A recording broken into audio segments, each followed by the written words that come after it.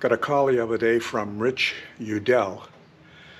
You might remember Paige and Rich Udell from their C8 Callaway Corvette launch edition. That we, I did a video on that uh, a while back.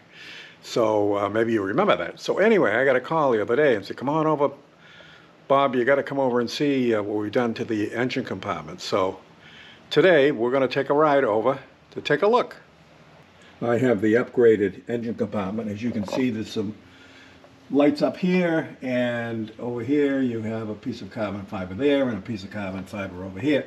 But eh, nothing here and nothing here. And I, if, if you watch previous videos, I've struggled to try to get this section and this section to look halfway decent.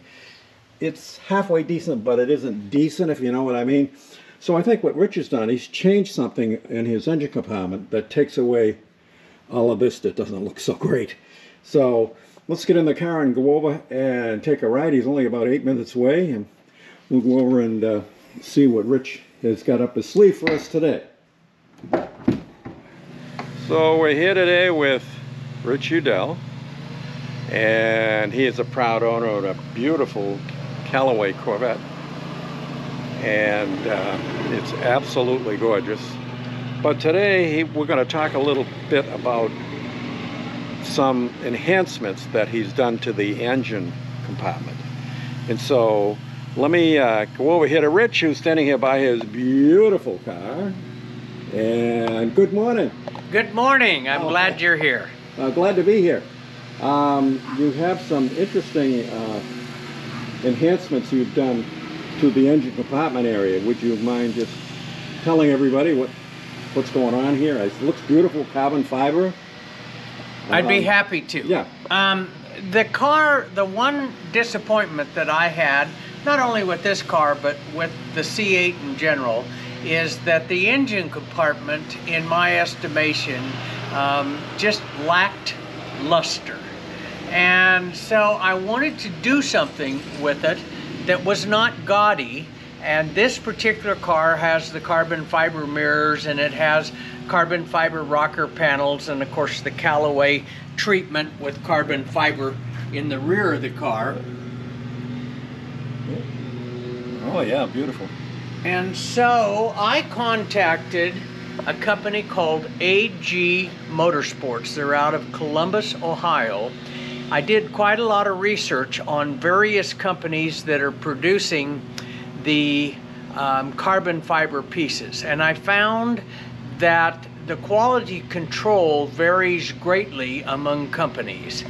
And AG Motorsports uses laser and very high tech equipment so that they can reproduce these carbon fiber pieces perfectly. And as you know, with carbon fiber, there's no remakes and there's no fixes. They're either right Or the first time or you throw them out. And fit is what um, I'm a big fan of, of fit and finish. And their pieces are so precise that I was just absolutely amazed. My wife and I put this whole package on in less than two hours. And it, um, especially, I would draw your attention to the shock tower covers. They've done just a great job. And in doing so, you don't have to remove every anything actually. There's three bolts that have enough thread and they've manufactured this kit. So you apply the pieces, not with tape or anything, but use those the, the remaining threads on those two pieces to the, which are the shock tower covers to secure them. Um, the procedure that you use for installation basically there is a center piece here which you find the center fit this piece first and then everything fits to it. And it fits uh, you know anything that's made with human hands is is is not totally perfect but this is probably as close to a perfect kit and fit as I've seen, and their carbon fiber, I think, is just amazing. They've done a really nice job with it. It looks factory. Uh, it, it just really looks like it belongs here in the. It looks like it belongs in the car. It does. Yeah, it does. It's not And- like it doesn't look like an add-on or a tack-on. No. Which a lot of the stuff looks that way, but And they are in the process, they're in the prototype stage, and it will be coming, but they are making an additional carbon fiber piece that will fit in these two locations that will actually complete the package totally. Okay, on And- both sides of it. As I said, um, I think when you look at it, it looks like it should have been um, at the car at the or in the car at the time it was manufactured. And I am personally not one to have gaudy things. I think this is very tasteful, and I think that it speaks well with uh, and incorporates in with with the C8 Corvette. and you folks should have to remember too that if you take this piece off, it looks this flat black, and it has a lot of streakiness to it, and it it's not a constant flat color. It's kind of uh, it's it's lou- it looks lousy. Well, it does, and it, it water spots and it marks, Yep. and then there you'll get dull places on it, Yep. and you have this beautiful, um, beautifully engineered piece, and you look in there and you go, oh, Yeah. you know. So that was that was part of my thought process. Oh yeah, this looks so. And AG Like that. Motorsports, by the way, uh, for those Corvette aficionados that are interested, it's out of Columbus, Ohio, and this is not made in a foreign country. This is made in the United States. They have their own plant, their own facility. They do all of their own R&D. Um, and to me, at this point in time in our history and where our country is, American made is also something that is of interest to me. Yep, interest to me too. I totally agree with that. But um, so, just uh, in in uh, wrapping it up, you've got uh, all of these carbon fiber pieces on this side of the engine, obviously on the left side of the engine, and then it comes down on the left side over here, goes across here. Beau- it's absolutely beautiful, and then goes down to the front, and it comes down here and trails off uh, right about here.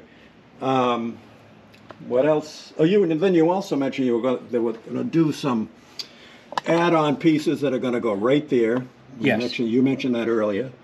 And you've got a beautiful uh, looking engine compartment once you get this done and get that ugly looking section down here, which I've been fighting with on my car, and I think this might be the solution. So, And the interesting thing that they've done, if you notice, there's two holes right here. My question was, what goes there?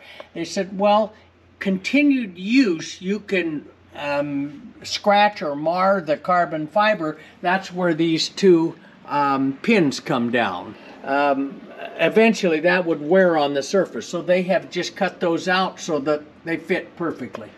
excellent. I got you. Perfecto. Thank you.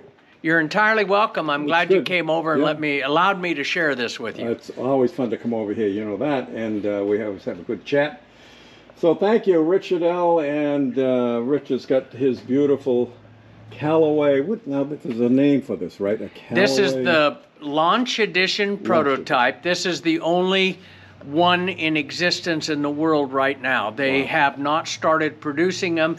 They have two mule cars that they've done their R&D on and then it went on this car. So this is this is a very unique piece to begin with and I think with AGM uh, or AG Motorsports I think it's even more unique. They added to the package. Yeah, it does. It looks, it looks very, very nice. Okay, thanks, Rich. Thank you very much, and uh, we'll have to come back and see what next you do. Thank you. what you. your next project it will be. So thank you so much, Rich. Enjoyed uh, stopping by to see you today. Appreciate it. Bye-bye. Bye.